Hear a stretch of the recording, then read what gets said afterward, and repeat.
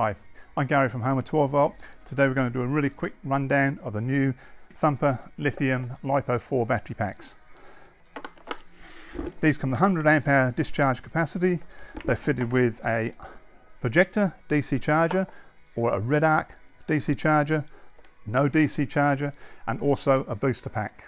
On the front of the units we have fitted dual USBs, USB-C, cigarette lighter, Engel socket and a voltmeter on the front.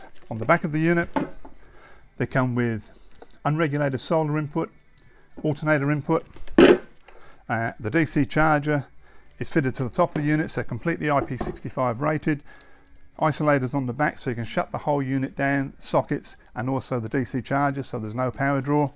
You can link units together. Uh, you can have a standard booster pack linked to a normal pack, give you higher output so you can run inverters. Massive battery management system fitted. The top of the batteries are removable so they're completely serviceable, cradle mounted batteries. If you need any more information, jump on our website. There's a complete breakdown, a strip down of our batteries, information about all the units, prices, and if you need any help, give us a call. Thank you.